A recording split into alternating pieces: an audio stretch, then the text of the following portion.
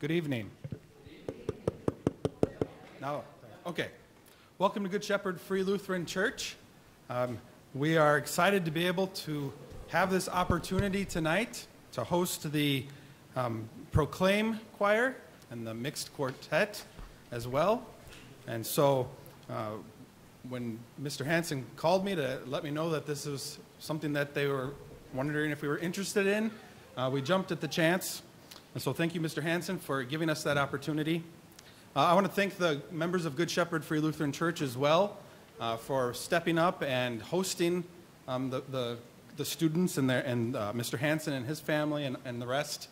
Um, you know, that's a great help. It's, as Mr. Hanson said, it's a, a wonderful part of the tour for the students them, themselves as well. Um, I also want to thank the choir, too, for coming to share your talents with us, uh, and especially the message of what Christ has done in your life and what he does for all of us as well. Um, I want to announce as well um, that there will be a free, off, free will offering taking at uh, just right after Pastor Ozier's message. Um, and if you are writing a check, please write that out to Good Shepherd Free Lutheran Church. It just simplifies the process a little bit uh, for, for everyone. At this time, then, hopefully you got one of these. Uh, we will ask you to stand and we'll invite you to sing our opening hymn, Praise to the Lord the Almighty.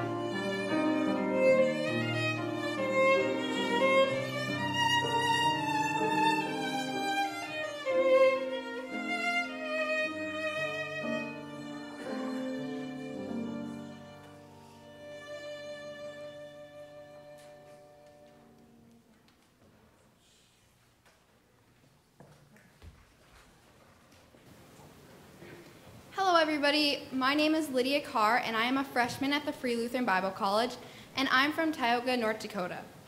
So I'm going to be sharing my testimony with you guys tonight. So to start off with, I've been a Christian as long as I can remember. I'm a pastor's daughter. I'm the oldest of five. So being in the church was literally in my blood, and it's something that I enjoy doing and being a part of all of my life. Coming to Bible school was the obvious choice for me throughout my entire life. It was something I always knew I was going to do. My senior year of high school was very hard, and coming to Bible school felt like a breath of fresh air. It was something that was just so unique and different than anything I had ever been a part of before. And I assumed life was going to be perfect at the Free Lutheran Bible College. But it wasn't. Even though it is one of the best places I can imagine spending my first two years of college, it does have its flaws, and I thought it would make me perfect, and that was the flaw. When the trouble started coming, I didn't know how to react, and I was like, oh no, this is my high school experience all over again. How am I going to handle this? And that was right around the time that we had the Festival of Praise, and this was my first introduction to the Hallel, and they are a group of psalms, and that was what we were singing on.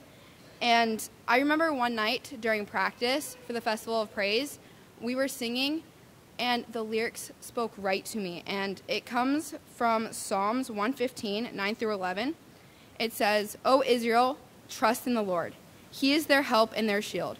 O house of Aaron, trust in the Lord. He is their help and their shield. You who fear the Lord, trust in the Lord. He is their help and their shield. Singing trust in the Lord over and over again. It felt like an audible voice coming from God. It could not be much clearer. And even though life did not get better immediately, and I wasn't able to just put my entire trust in God, I got there. And I cannot tell you that I completely trust God in all areas of my life and all times because we're sinful and I'm not perfect. But I can tell you that through my daily devotions and praying, I just feel this peace in what God has for me and my life. And that was something I did not experience before coming to the Free Lutheran Bible College. Another verse I'd like to share with you guys, one of my favorite verses is Proverbs chapter 3 verses 5 through 6. Trust in the Lord with all your heart and lead not on your own understandings, but in all your ways acknowledge him and he will make straight your paths. God did not promise that we'd have an easy life. We are never guaranteed that. But when we trust in God and we do God's will for our life, it does show that we really will just understand what God has for our life. And it might not be easy, but with God, it'll work.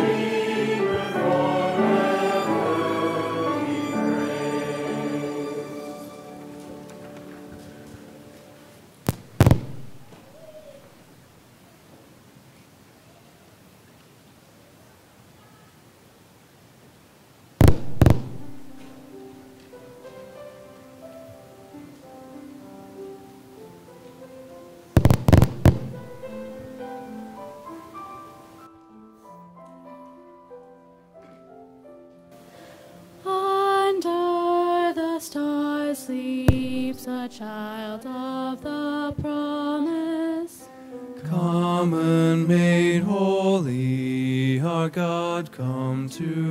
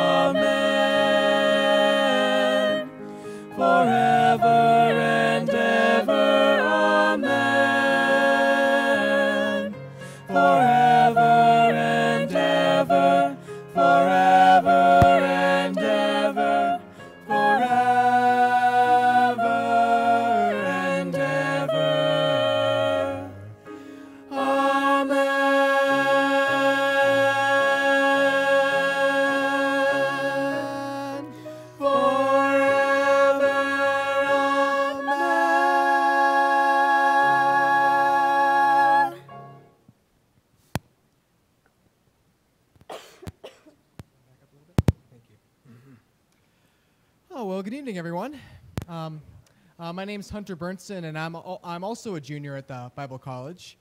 And uh, I just want to start with asking you guys a question. Um, oh, you, you guys all celebrate Christmas, right? Yeah. Well, duh. Um, uh, so um, how long? I want to know like how long y'all leave your Christmas decorations up because around our house, mom usually takes them down like, like you know, first week of January. How many of you guys have them up and like take them down the day after New Year's Eve? Like, like New Year's Day or something. No? Okay, no one? Okay, uh, how about, how many of you guys ha still have them up like middle of January? Okay, we got, a, few, got a few Christmas nuts over here, yeah? yeah, well, I, I love Christmas, and you know, um, but I think it's almost a Christian cliche these days to say that uh, oftentimes in all the hustle and bustle of Christmas, we forget about Christ. We forget the reason for the season, so to speak. But I think the same thing often happens with uh, our good works. You know, we're so busy doing good things for God that we forget the reason we do them. We forget the reason that we're saved in the first place. I know that happened to me. You see, from a young age, I was confused about the relationship between faith and works. You know, I knew that uh, I was justified, I was saved by faith alone. I just wasn't sure how that uh, fit together with works. And it got to the point where, when, um, by my junior year, I'd been convinced myself that, well, God saved me by faith, but I maintained my salvation by my good works. And that led to a lot of doubt. Um, but that, but that year, God did something to change that. My, my uh, church did a series on the book of Galatians. And, the book, and basically, the book of Galatians was written to, peop, to people who had the same kind of problems I did. They were trying to add to what Christ did, sort of maintain their salvation or add to it their own work. And Paul had some very strong language for these people. Um, in Galatians chapter 3, verses 1 through 3, he writes, You foolish Galatians, who has bewitched you? Before your very eyes, Jesus Christ was clearly portrayed as crucified. I would like to learn from just one thing from you. Did you receive the Spirit by observing the law or believing what you heard? Are you so foolish? Are you beginning with the Spirit and now trying to attain your goal by human effort? That's what I was doing. I was trying to attain my own salvation or keep my own salvation by my own work. That's not my job. It is God. God is the author of our salvation from beginning to end. This was the freedom in Christ that I discovered. So instead of looking to myself and my own work to prove that I was saved, I started looking to Jesus and his finished work on the cross. Your salvation does not depend on anything you have done, anything you've said. It depends on Jesus it depends on the cross. 1 Corinthians 2 2, Paul says, For I resolved to know nothing while I was with you except Jesus Christ and Him crucified. Salvation is not about us, it's about Christ, it's about the cross.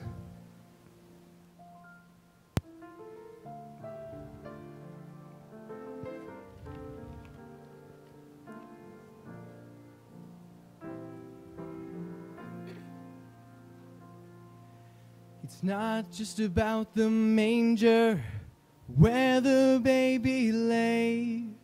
It's not all about the angels who sang for him that day. It's not all about the shepherds or the bright and shining star. It's not all about the wise men who traveled from afar. It's about the cross. It's about my sin. It's about how Jesus came to be born once so that we could be born again. It's about the sun that was rolled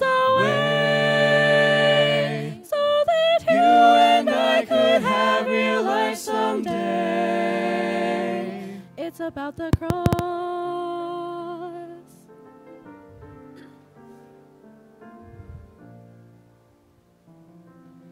It's not just about the good things in this life I've done. It's not all about the treasures or the trophies that I won. It's not about the righteousness that I find within. It's all about his precious blood that saved me from my sin. It's about the cross. It's about my sin. It's about how Jesus came to be born once so that we could be born again. It's about the sun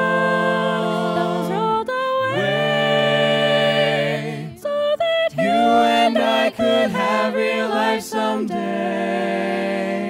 It's about the cross, the beginning of the story is wonderful and great. But it's the ending that can save you, and that's why we celebrate. It's about the cross, it's about mercy. Jesus came to be born once so that we could be born again. It's about God's Son, nailed to a tree. It's about how Every drop of blood that flowed from him when it should have been me. It's about the So that was rolled away. So that you and I could have real life someday. And I could have real life someday. It's about the Cross,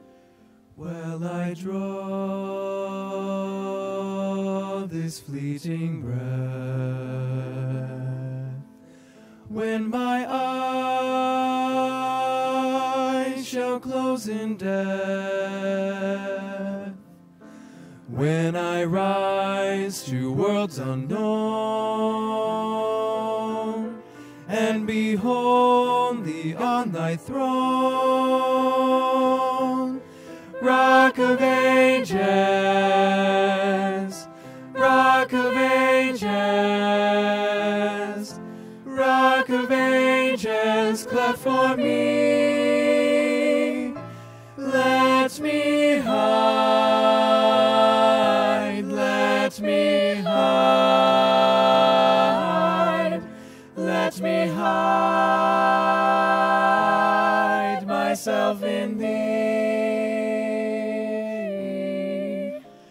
Let me hide myself in thee. Let me hide myself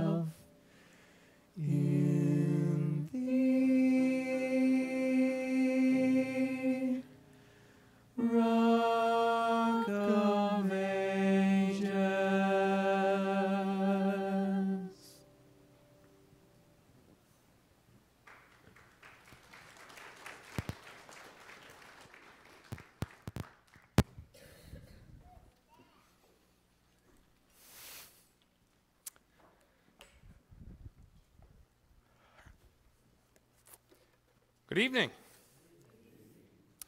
My name is Adam Ozier, and I am uh, the new dean at the Free Lutheran Bible College. I just started my job last summer. I still have no idea what I'm doing. Um, but they told me to come here and talk, so I will. Um, no, we are a two year Bible school. For those of you who don't know, it's two year Bible college in which we uh, really dig into God's Word. We spend two years digging into the Word deeply, kind of in a unique way. A lot of colleges, there are a lot of Christian colleges that have uh, Bible programs as part of their education. Uh, what we do is, unique in that we really uh, take uh, book by book, in many cases, uh, dig into God's Word in, a, in not only a, an academic way, but a way that applies uh, to life, a way that applies to, to the soul, to our heart, as we trust in Christ. Uh, another interesting piece about us is that we are residential. We have a community uh, as we come together. That community discipleship is a big part of our program, and, and we are blessed by God. I was, I was in that program myself. I don't want to admit how many years ago because it's strange to think that it was like 15 years ago uh, that I was in, in uh, the Bible college myself. I was actually here at one point singing in a choir like we are today, and it's, it's been a blessing. I've known many of your um, congregants, those who have come here to Good Shepherd. Uh, growing up, uh, the, the Olsons, uh, I want to say the Pakchas, but they're not. Kirsten is, is now Pakcha, but Kirsten Olson, uh, David Olson, uh, and, and different individuals throughout the years too have been close with us. Uh, we're glad to be with you here today. I was asked to share, uh, and uh, the idea uh, that we are, are, going for, as you see the front of your program cover today, is My soul longs to praise the Lord.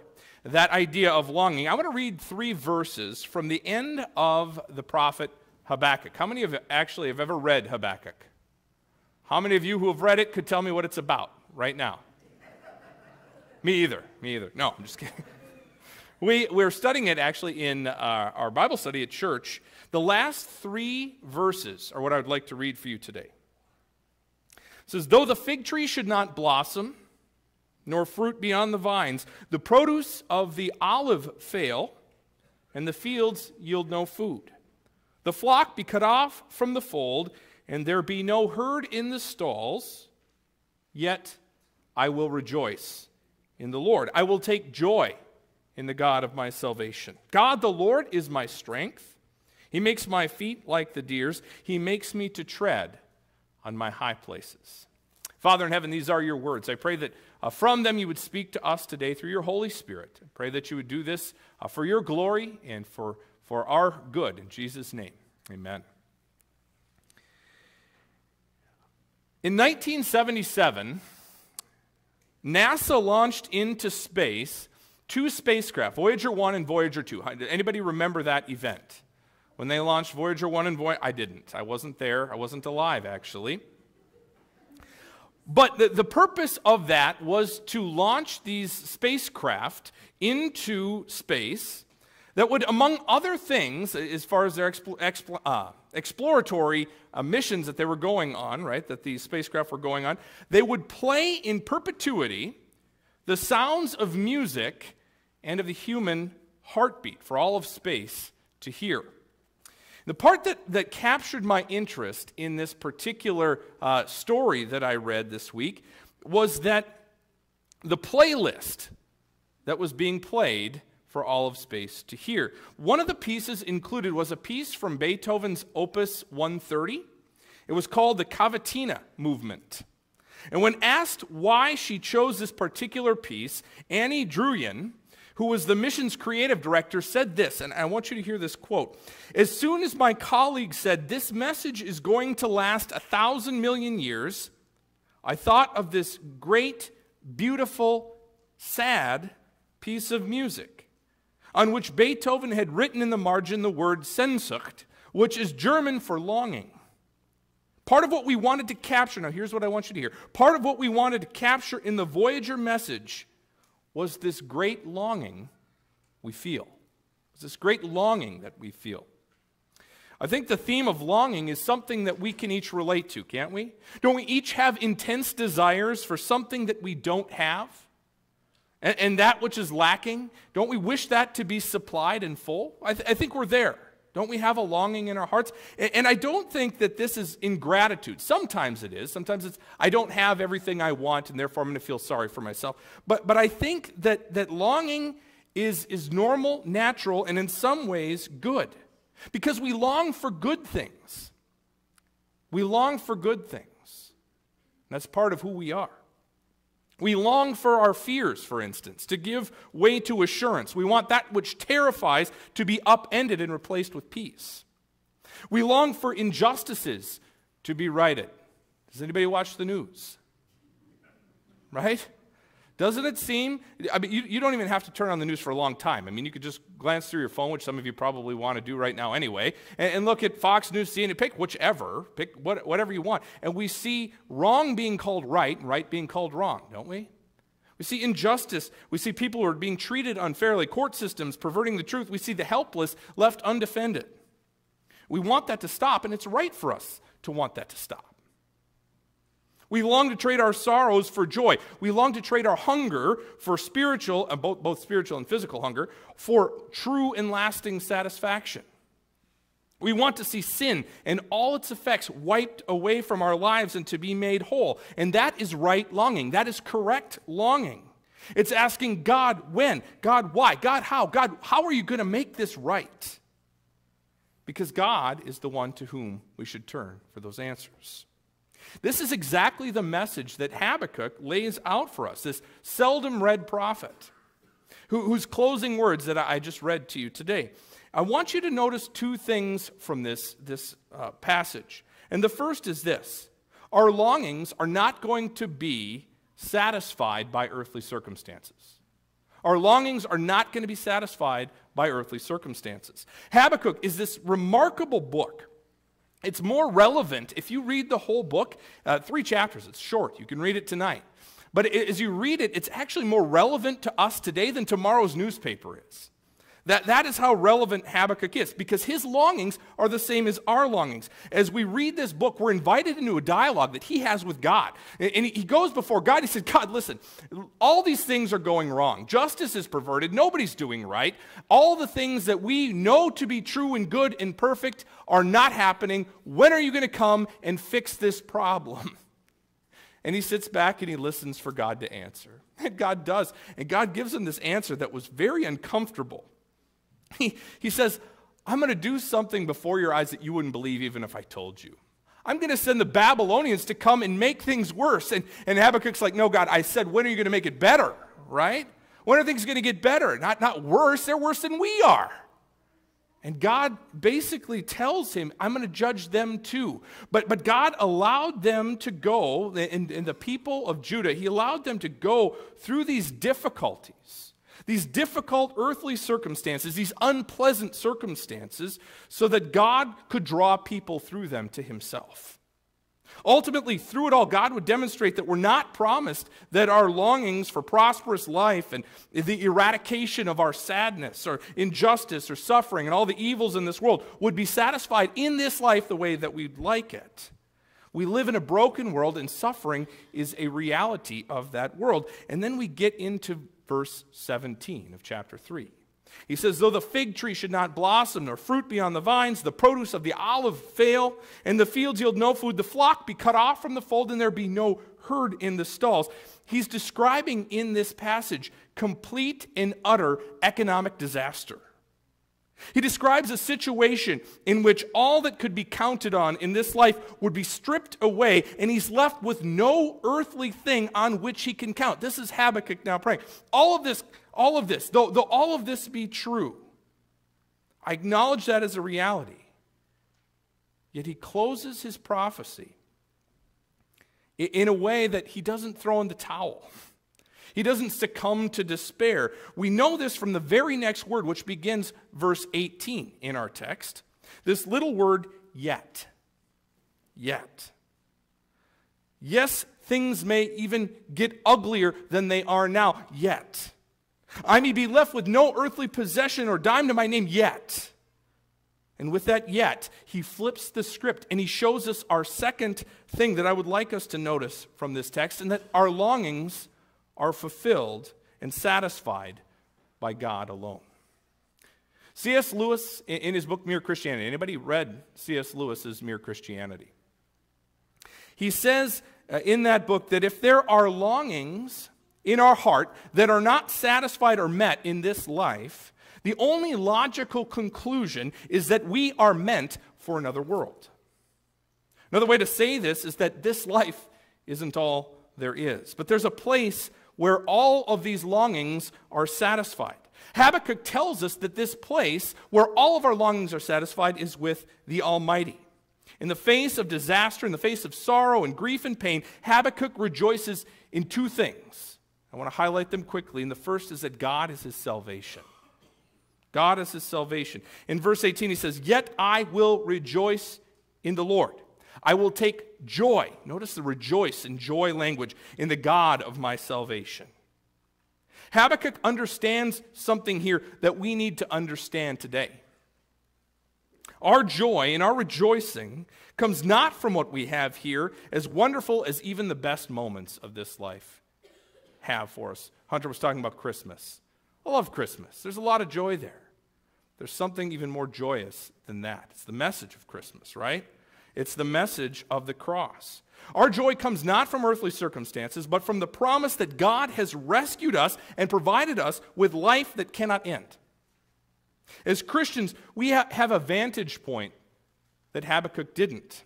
Habakkuk looked forward to the promised salvation of God, yet he, he didn't exactly know. He searched, he longed to know, as we read in the New Testament, those prophets did long to know what exactly God was going to do, yet we get to look back on it. We know exactly what that was, and it was the cross of Jesus Christ.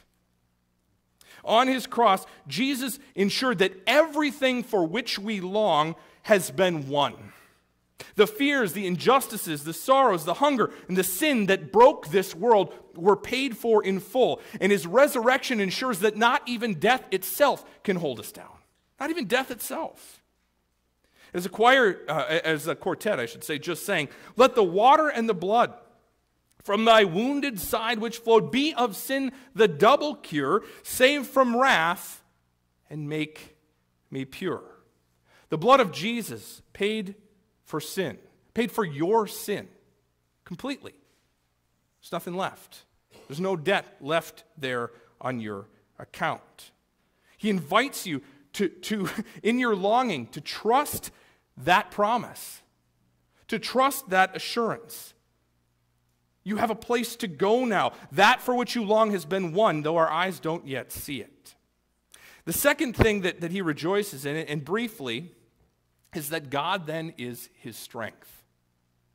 We look to salvation, which we see ultimately culminating in heaven, right? None of us are there. And, and frankly, I'm kind of glad that, that we are all together tonight. And death is a sad thing in this life, so I'm glad you're here. I'm glad we're together.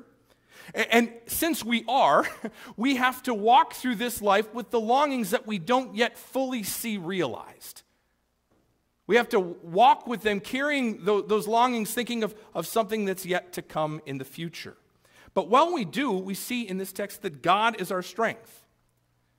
I met a woman, and, actually, this is the reason I love this text so much. I went to visit this woman as a, I was an intern as a, as a pastor, and I went to visit her in her home. She was dying of heart failure, uh, and she knew that she'd only had a few, uh, would only have a few months to live. And I said to her, Millie, is there any verses you would like me to read? And she said, Habakkuk 3, Pastor. I said, Where is that again? Is that in the. No. Uh, and, and she, she said this, and she, she quoted the verses to me. And in her version, it talks about how, how you know, he will make, our version says, he will make his, our feet like the deer's feet, and he will help us to tread on our, make us to tread on our high places. Her version was, uh, I think it was the NIV or maybe it's RSV, something like that. But he said, He will make my feet like the hind's feet, and He will get me over my mountain. And Millie saw those verses as God being her strength to get her through to the end when she would see Him face to face. Is that what this text is talking about? Yes. But I want you to think about what deer do. How many have, have, have seen deer in their natural habitat out west, not in the flat country of Minnesota? But actually in mountains. Have you seen deer? Those things are amazing. right? The, the fact that they can walk on these tiny, tiny ledges with these feet, yet they are sure footed. And they can bound up the mountain, get away from, get away from mountain lion, get away from all kinds of, of predators by navigating these things that you and I would die in 30 seconds on. But God says in this passage through Habakkuk that in this life, our feet, these rocky, these rocky paths, these craggy, ledgy, difficult things that we're going to walk through in this life are going to be walked with feet that are not our own. The strength that He gives us to march through the challenges of this life. That is the God we serve. And that's what God promises us here. He knows that we're going to face rocky and precarious struggles, but He assures us that we aren't going to do so apart from His sure footed strength to guide us. When the Voyager spacecrafts were, were launched into space, the hope was that something somewhere, maybe, might hear this message of longing from humanity, that they would sense this longing of humanity as well, that they would feel it. But what we can't forget is that someone has heard our longing. God has heard our longing. And he's answered that longing by sending us his son Jesus. As we trust in that promise of salvation, that promise that is for you, that he won for us, our longings for salvation are replaced with longings to praise him for it. Our heart longs to praise our Savior. I hope this is the longing of your heart today. Amen.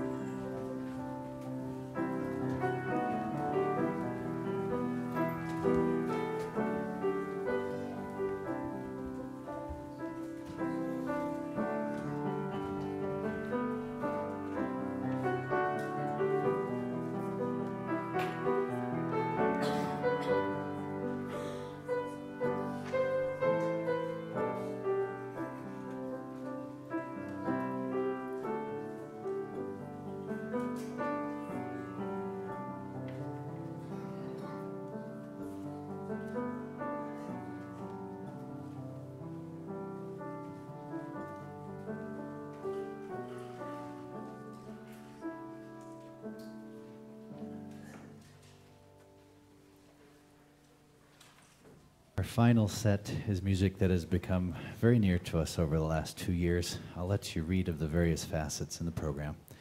Uh, but one thing I want to draw your attention to as we approach the season of Lent is that it is likely the same text that Jesus and his disciples sang in Scripture when it says they sang a hymn and then what departed the Mount of Olives, um, right before his crucifixion. So as we consider the message that's been given to us about longing, but also praising the Lord. Um, I encourage you to, to consider that aspect that, that, that Christ sang these words as well. There will be opportunity for you to sing a couple of the choruses um, with us as we proceed, and, and that's in the music as well. I'll turn around and invite you to sing with us at those times.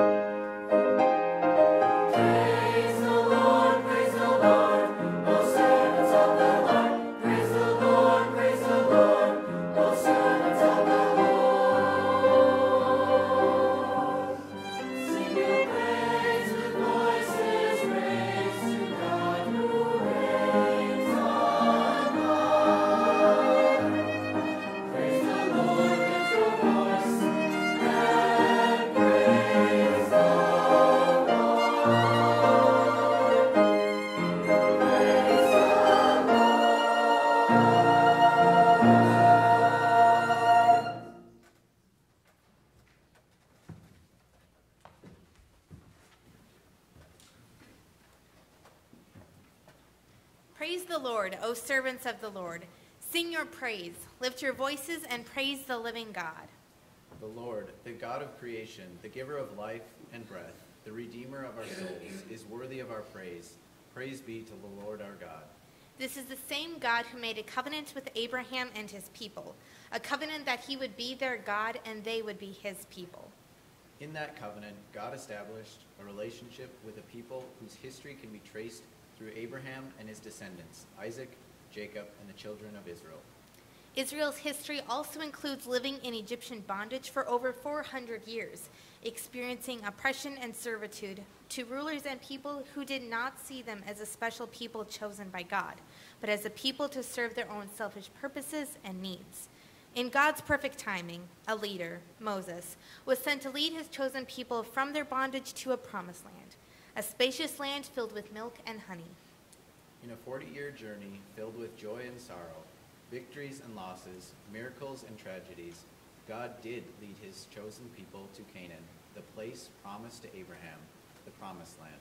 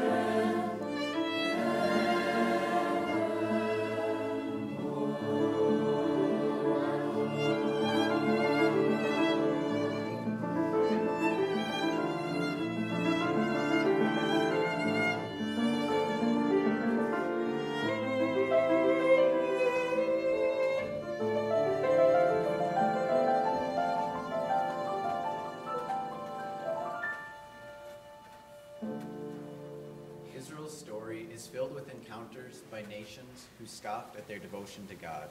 Many of these people had created gods that had become their idols of worship. Israel's history also reveals those who were faithful and devout in their service to the God of Abraham's covenant. There were others, though, who recklessly abandoned their faith, the covenant, and the commandments given to Moses on the Exodus journey. And yet God remained faithful in his commitment to Israel as he called forth leaders who repeatedly challenged his chosen people to live a life devoted to the creator of the world, the God of life and love. The clarion call to trust in the Lord, to depend upon him as sovereign king, ruler, and redeemer, resounded in the hearts of the spiritual leaders as they attempted to guide the Hebrew children into paths of righteous living, and as they encouraged them to live lives of grateful praise.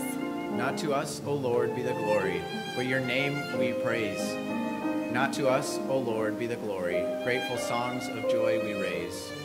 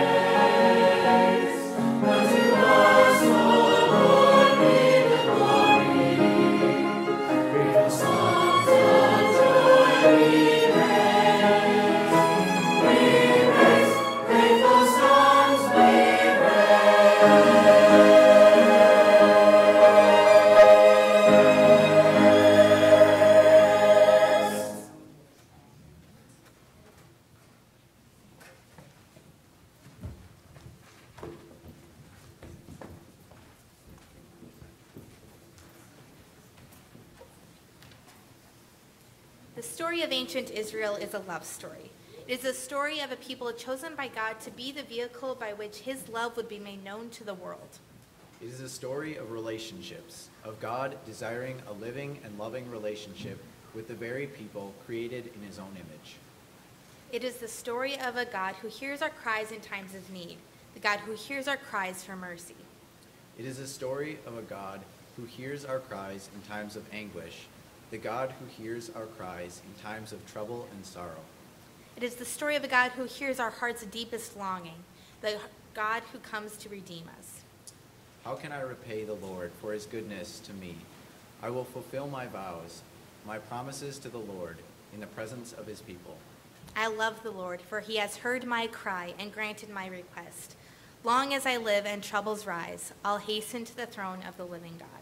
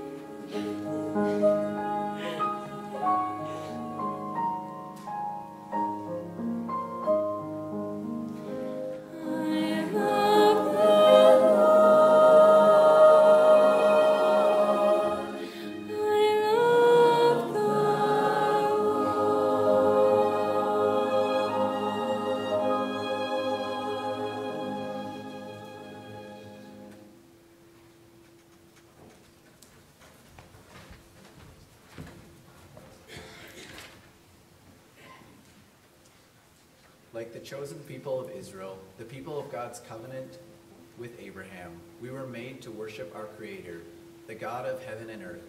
Like the Hebrew children led out of Egyptian bondage, following a leader chosen by God, we have been provided a light to guide us into an eternal relationship with the God of the universe. With hearts of gratitude, we lift our voices, inviting all people of every nation to join us in exaltations, in praise, as we celebrate God's great love and faithfulness. Praise the Lord, all you nations. Praise the Lord, all you people of the earth. For God's steadfast love is great towards us, and his faithfulness endures forever.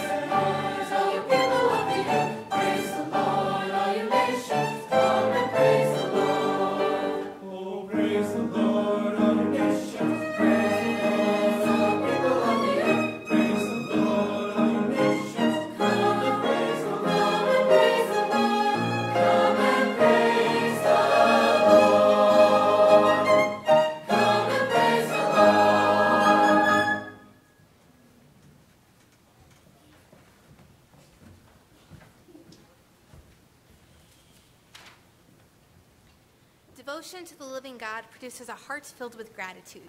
Gratitude for a Redeemer who has invited us into a personal relationship.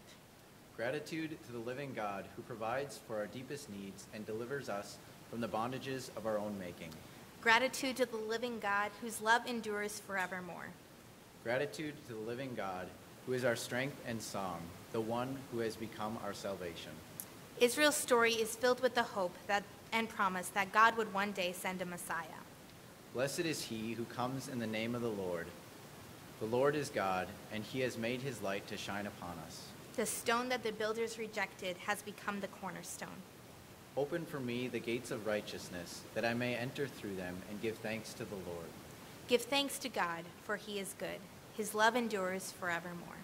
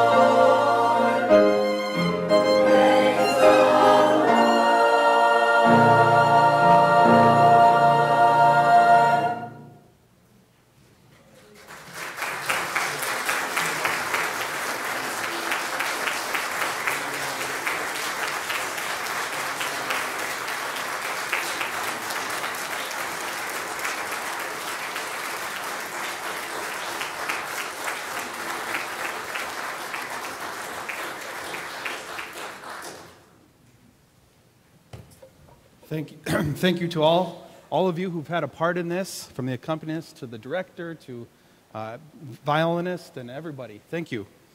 Um, I want, oh, and thank you to you for coming too as well. Um, I want to invite you now as well to join us for cupcakes afterwards. Um, this is a surprise to my wife. Yep, she gave me the look.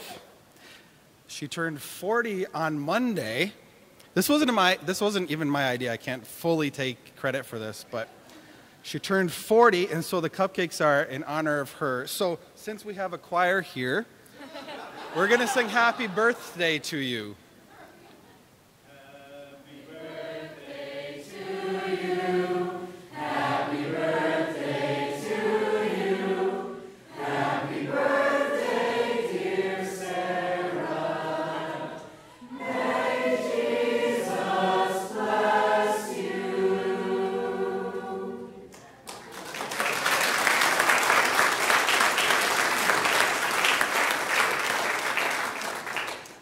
All knew her name.